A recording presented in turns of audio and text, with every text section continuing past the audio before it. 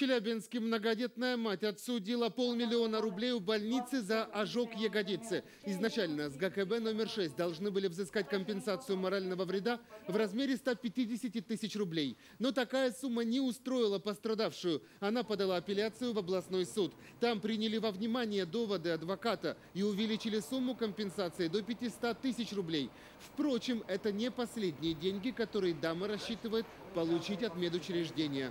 Представители ответчика в этот раз не явились на заседание. Видимо, они сами заранее понимали, какой будет исход. Уточню, что пока это было только возмещение морального вреда, а дальше в ходе лечения, в процессе всех пластических операций чеки будут сохраняться и будет по-новому выставляться счет больницы.